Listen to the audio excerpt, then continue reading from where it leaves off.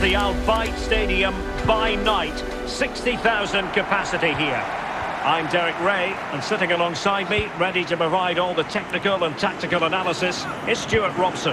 And both teams looking to get off to a flying start here on match day one for them at the 2022 FIFA World Cup.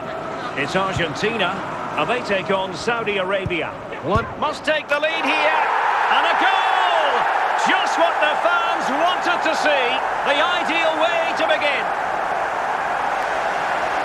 Well, I have to say, this is a really good goal. Just watch his technique here. He just hits through the back of the ball with such power. There's no stopping that. Argentina. Back underway, and 1-0 it is. Let's see what happens next. Well, doesn't have to do it on his own. Abdullah Al-Malki. Well, the attack looks promising. They do pass the ball with authority. And this could be the equaliser. And it's in! All square again. What a match this is turning out to be. Well, as you can see, he's a great talent. What a run, what a goal, and what a play he is. 36. So underway again here on the back of that leveller.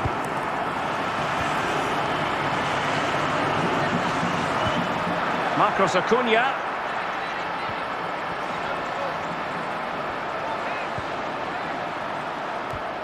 On to Di Maria. Is it going to be? Surely. Oh, tremendous goal!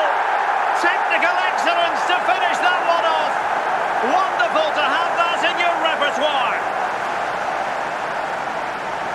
Well, as you can see, that's a great bit of skill. He times this so sweetly. What a good goal that is. So there we have it, 2-1. Argentina, number 22. Well, they have it again.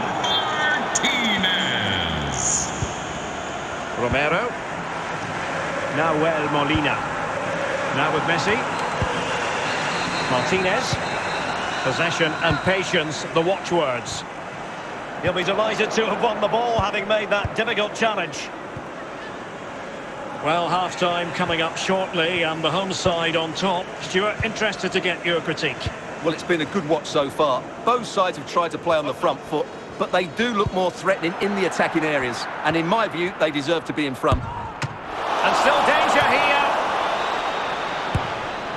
And there it is, a goal. I must say, much to the annoyance of the keeper.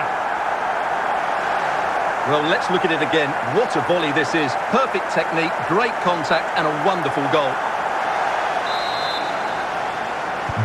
So there it is, 3-1 the current scoreline here.